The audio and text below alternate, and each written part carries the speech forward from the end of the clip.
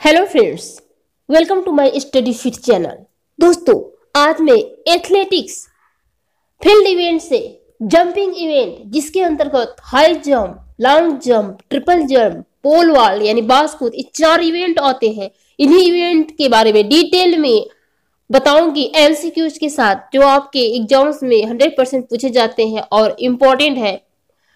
तो दोस्तों, यदि आप फ़िज़िकल एजुकेशन के किसी भी कॉम्पिटेटिव एग्ज़ाम्स का प्रिपरेशन सिलेबस के अकॉर्डिंग कर रहे हैं तो मेरे चैनल पे सभी वीडियो सिलेबस के अकॉर्डिंग है। एंड दोस्तों हंड्रेड से ज़्यादा video previous year MCQs question के बनाए गए हैं।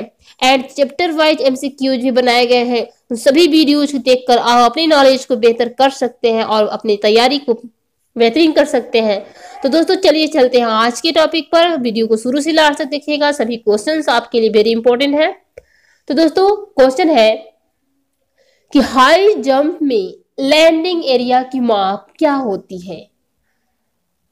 तो हाई जंप में लैंडिंग एरिया की माप पाँच गुड़े तीन मीटर होती है। नेक्स्ट है हाई जंप में क्रॉस बार का वज़न कितना होता है? तो क्रॉस बार जो होता है, उसका वज़न दो केजी का होता है हाई जंप में। नेक्स्ट है हाई जंप में लैंडिंग एरिया की ऊंचाई कितनी होती है? दोस्तों, जहाँ पे आप गिरते हैं, क्रॉस बार को पार करके वो जो गड्ढा होता है, उसकी ऊंचाई साठ सेंटीमीटर होती है। नेक्स्ट है, क्रॉस बार की लंबाई कितनी होती है? जो क्रॉस बार दो केजी का होता है, जिसको हम पार करते हैं, उसकी लंबाई कितनी होती है? तो लंबाई चार मीटर होती है, ठीक है? नेक्स्ट दोस्तों, जंप कितने प्रकार के होते हैं? तो जंप दोस्तों, इसमें पाँच प्रकार के होते हैं, ज़्यादा से ज़्यादा हाई जंप में। ठीक है? नेक्स्ट है, पूरे अटेम्प्ट के बाद ऊँची कूद में कम से कम कितनी ऊंचाई बढ़ाई जा सकती है? तो दोस्तों, पूरा अटेम्प्ट लेने के बाद यदि टाई आ गया, फिर से कराने की ज़रूरत है तो उसमें हम ऊँची कूद यानी हाई जंप में दो सेंटीमीटर ऊंचाई बढ़ा सकते हैं। यहीं पे आपका बाँस कूद यानी कि पोलवाल्ट कहता तो पाँच सेंटीमीटर बढ़ा सकते हैं। ये ध्यान में रखिएगा। हाई जंप में दो सेंटीमीटर पोलवाल्ट में पाँच सेंटीमीटर हम पूरे अटेम्प्ट के बाद बढ़ा सकते हैं। ऊंचाई। नेक्स्ट है दोनों अपराइट के बीच की दूरी कितनी होती है? तो चार मीटर। नेक्स्ट है हाई जंप में क्रॉस बार के सिरे, जिनका आकार चौकोर होता है, उसकी लंबाई व चौड़ाई कितनी होती है? तो जो क्रॉस बार होता है तो इसकी लंबाई और चौड़ाई होती है पंद्रह से बीस सेंटीमीटर व दो दशमलव नौ से तीन दशमलव आठ सेंटीमीटर नेक्स्ट दोस्तों, हाई जंप में कितने प्रकार की तकनीकी यानी टेक्निक का प्रयोग किया जाता है? तो इसमें चार से पाँच टेक्निक का प्रयोग किया जाता है। जैसे कि हाई जंप में इसका मैं वीडियो बना चुकी हूँ कौन कौन टेक्निक होते हैं। उस वीडियो को आप देख लेंगे तो सभी डाउट आपके क्लियर हो जाएँगे। इसमें आपका हाई जंप में टेक्निक है सिजार शैली। ठीक है, western roll straddle roll, Fosbury, flop, इन सभी शैलियों के बारे में डिटेल में बताई हूँ। नेक्स्ट क्वेश्चन है, हाई जंप के लिए कौन सी तकनीकों का प्रयोग किया जाता है? ऑप्शन है eastern roll and western roll straddle roll, scissors style, Fosbury, flop. तो दोस्तों, इन सभी का प्रयोग किया जाता है, उपरोक्त सभी इसमें राइट हो जाएगा। जैसे कि फासबरी, फ्लॉप जो है, वो आधुनिक तकनीकी है। जिसको आधुनिक शैली वर्तमान समय में यही प्रयोग ज़्यादातर किया जाता है, जिसकी खुद डिक फासबरी ने किया था, ये अमेरिका के एथलीट थे। इन्होंने इसका प्रदर्शन उन्नीस सौ अड़सठ के ओलंपिक में की थी। और इसमें दोस्तों तिरछा रन होता है, जिससे जंपर की पीठ कंधों से पहले क्रॉस बार को पार करती है। नेक्स्ट है, ऊँची कूद बास कूद में, यानी पोल वाल्ट में।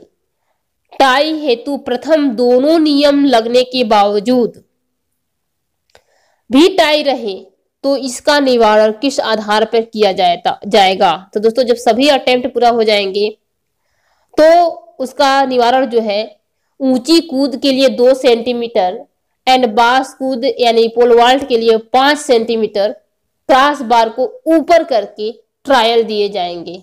ठीक है? ये ध्यान में रखिएगा। नेक्स्ट है, ऊँची कूद व बास कूद में टाई पड़ जाए तो परिणाम किसके द्वारा निकाला जाता है? तो इसका परिणाम निकाला जाता है latest last attempt at tie height then no of failure next है, अगर हाई जंप के प्रतिभागियों की संख्या आठ से, आठ या आठ से कम हो तो उनको कितने ट्रायल दिए जाएँगे?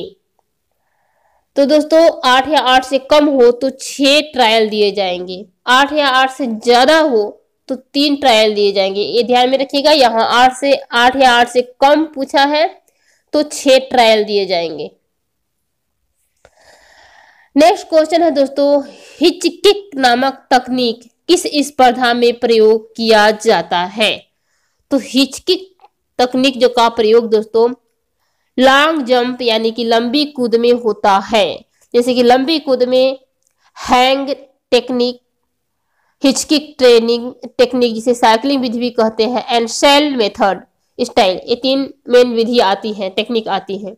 नेक्स्ट दोस्तों, निम्न में से कौन सी तकनीक लॉन्ग जंप में प्रयोग की जाती है? ऑप्शन है hang style, Fosbury flop straight and roll. इनमें से कोई नहीं। तो दोस्तों, इसमें फास्वरी फ्लॉप आपका है हाई जंप का स्ट्रेडल रोल भी हाई जंप का टेक्निक है। और यहाँ पे हैंग स्टाइल जो है, आपका लॉन्ग जंप का टेक्निक है। नेक्स्ट है सेल स्टाइल नामक तकनीक किस स्पर्धा में प्रयोग की जाती है? तो मैं भी तुरंत बताई हूँ कि लॉन्ग जंप में, लंबी कूद में hang style hitch kick style sail style ये तीन विधियाँ मेन रूप से हैं। यहाँ पे सेल स्टाइल तकनीक पूछा है, यहाँ पे लॉन्ग जंप राइट हो जाएगा। नेक्स्ट है लंबी कूद में अगर टाई पड़ जाए तो निर्णय किस आधार पर लिया जाएगा? तो दोस्तों, निर्णय जो है नेक्स्ट बेस्ट परफॉर्मेंस के आधार पर लिया जाएगा। नेक्स्ट है प्लास्टिसाइन इंडिकेटर बोर्ड का प्रयोग किस स्पर्धा में किया जाता है? तो यह लॉन्ग जंप में ज़्यादा किया जाता है। नेक्स्ट दोस्तों प्लास्टिसाइन इंडिकेटर की चौड़ाई व ऊंचाई कितनी होती है? तो दोस्तों लॉन्ग जंप में प्लास्टिसाइन इंडिकेटर की जो चौड़ाई होती है 10 सेंटीमीटर एंड ऊंचाई 7 से 10 एम यानी मिलीमीटर होता है। नेक्स्ट है प्लास्टिसाइन इंडिकेटर बोर्ड का स्लॉप कितने कोण पर होता है। तो दोस्तों, यह 45 अंश पर होता है बट अब इसका प्रयोग 90 अंश पर होने लगा है। नेक्स्ट क्वेश्चन है लॉन्ग जंप में रनवे की चौड़ाई कितनी होती है? तो इसमें रनवे की जो चौड़ाई होती है 1.22 से 1.25 मीटर होता है। एंड नेक्स्ट है लॉन्ग जंप में रनवे की लंबाई कितनी होती है? तो दोस्तों लॉन्ग जंप में रनवे की लंबाई 40 से 45 मीटर होता है। ठीक है? Long jump triple jump and pole vault इन तीनों में 40 से 45 मीटर जो आपका रनवे होता है वह होता है। एंड हाई जंप में 15 से 18 या 15 से 20 मीटर होता है रनवे नेक्स्ट है दोस्तों, कि लॉन्ग जंप में लैंडिंग एरिया की चौड़ाई कितनी होती है, जहाँ पे आप लैंड करते हैं, ठीक है? गिरते हैं, वहाँ उस लैंडिंग एरिया की चौड़ाई होती है 2.75 से 3 मीटर एंड लैंडिंग एरिया की लंबाई जो है 9 मीटर होता है। यानी 9 गुड़े टू से 3 मीटर तक होता है। नेक्स्ट दोस्तों लॉन्ग जंप में टेक ऑफ़ बोर्ड की चौड़ाई कितनी होती है? तो टेक ऑफ़ बोर्ड की चौड़ाई जो है 20 सेंटीमीटर होता है। कितना होता है? 20 सेंटीमीटर उसकी टेक ऑफ़ बोर्ड की चौड़ाई होता है। नेक्स्ट है दोस्तों लॉन्ग जंप में रनवे में खिलाड़ी ज़्यादा से ज़्यादा कितने मार्क लगा सकता है? तो वो ज़्यादा से ज़्यादा दो मार्क लगा सकता है। नेक्स्ट है दोस्तों हाफ़ स्टेप एंड जंप किस स्पर्धा से संबंधित है? तो दोस्तों हाफ़ स्टेप एंड जंप यह तिहरी कूद यानी ट्रिपल जंप से रिलेटेड है। ठीक है इसमें इसमें दोस्तों पैर बदल बदल के आपका जंप किया जाता है। नेक्स्ट है, खिलाड़ी द्वारा टेक ऑफ़ बोर्ड से, जिस पैर से जंप लिया गया हो, और उसी एक पैर से लैंडिंग क्या कहलाती है? तो जिस पैर से टेक ऑफ़ बोर्ड से जंप किया गया हो, लिया गया हो, और उसी एक पैर से लैंडिंग क्या कहलाती है? तो यह कहलाती है हाप। ठीक है? हाप। नेक्स्ट है दोस्तों, खिलाड़ी द्वारा हाप करते समय प्लाटिंग लेग कौन सा कहलाएगा? तो हाफ़ करते समय प्लॉटिंग लेग कौन सा कहलाएगा? तो जिस पैर को टेका बोर्ड से जंप लिया गया हो, उसी को हम कहेंगे प्लॉटिंग लेग। नेक्स्ट है दोस्तों, खिलाड़ी द्वारा हाफ़ करते समय एक पैर ज़मीन पर आता है, उसे प्लॉटिंग लैग कहते हैं। जो पैर ज़मीन पर आता है, जंप लिया जाता है, उसको हाफ़ कहते हैं। उसको, उसे प्लॉटिंग लैग कहेंगे। और दूसरा जो हवा में रहता है, उसे हम क्या कहेंगे? तो उसको हम कहेंगे स्लीपिंग लैग क्या कहेंगे? स्लीपिंग लैग ठीक है? नेक्स्ट है दोस्तों, तिहरी कूद में पुरुषों के लिए टेक ऑफ़ बोर्ड लैंडिंग क्षेत्र में से कितनी दूर पर लगाया जाता है? तो दोस्तों ट्रिपल जंप में पुरुषों के लिए टेक ऑफ़ बोर्ड तेरह मीटर दूरी पर लगाया जाता है। नेक्स्ट है, तिहरी कूद में महिलाओं के लिए टेक ऑफ़ बोर्ड लैंडिंग क्षेत्र से कितनी दूरी पर लगाया जाता है? तो दोस्तों 11 मीटर पर लगाया जाता है। यानी कि पुरुषों के लिए ट्रिपल जंप में लैंडिंग क्षेत्र से जो टेक ऑफ़ बोर्ड की दूरी होती है तेरह मीटर और महिलाओं के लिए ग्यारह मीटर। ये ध्यान में रखिएगा। नेक्स्ट दोस्तों, बास कूद से रिलेटेड कुछ क्वेश्चन है पोल वाल्ट से। नेक्स्ट क्वेश्चन है पोल वाल्ट के रनवे की लंबाई कितनी होती है? तो इसकी भी रनवे की लंबाई होती है 40 से 45 मीटर। नेक्स्ट है पोल वाल्ट में क्रॉस बार को कम से कम कितना बढ़ाया जा सकता है? अभी मैं तुरंत कुछ देर पहले बताई हूँ कि इसे पाँच सेंटीमीटर बढ़ाया जा सकता है। वहीं पे हाई जंप पूछेगा तो उसमें दो सेंटीमीटर बढ़ाया जा सकता है और पोल वाल्ट में पाँच सेंटीमीटर क्रॉस बार को कम से कम बढ़ाया जा सकता है। नेक्स्ट है पोल वाल्ट में क्रॉस बार की लंबाई कितनी होती है? तो जो क्रॉस बार होता है, इसकी लंबाई 4.5 मीटर होता है।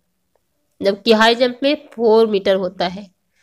नेक्स्ट है पोल वाल्ट में क्रॉस बार का वज़न कितना होता है दोस्तों? तो इसमें वज़न होता है two point two point two five K G ठीक है?